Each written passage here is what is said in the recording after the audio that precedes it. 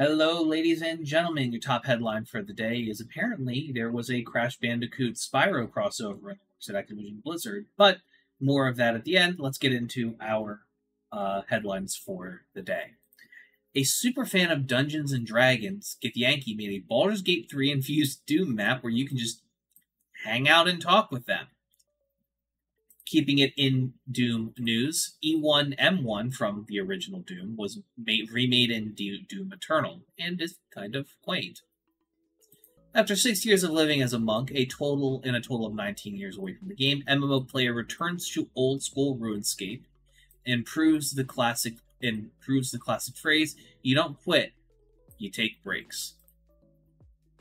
A Valve developer shared a video of an even earlier version of their new uh, MOBA sh- uh, hero shooter, Deadlock, in which ba- the player battles Half Life 2 enemies with Left 4 Dead weapons.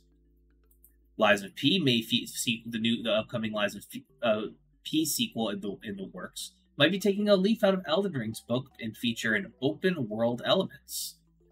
And on to our main story of the day. The cancelled Crash Bandicoot 5 was reportedly set to be a Spyro crossover. Activision allegedly pulled the plug on the project to focus on what? But more live service games. From NME.com by Ali Shutler. In 2020, Toys for Bob and Activision released Crash Bandicoot 4, which we all, which is very good, and honestly, I should probably play it on stream one of these days. The first new installment in the beloved franchise since 1998.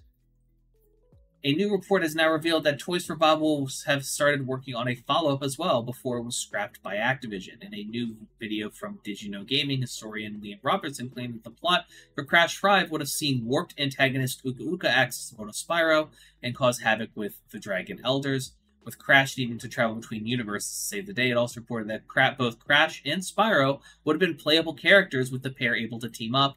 Another scrapped plan involved playable origin stories for a number of Crash Bandicoot antagonists. Work on Crash Bandicoot 5 only lasted a few months from summer to November 2020, with Toys for Bob working on concept art and only early demo environments. This is very sad.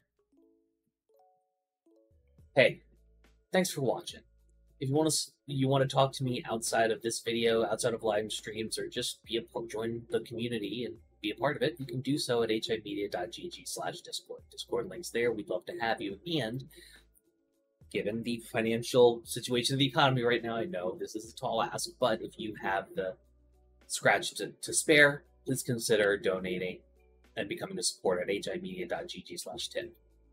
All of our perks are serviced through our Discord channel, including early access videos, exclusive videos, and more. Your generosity is a blessing, and a dollar a month is a boon to my mental health. Thank you so very much for watching. I appreciate you, and have a great day.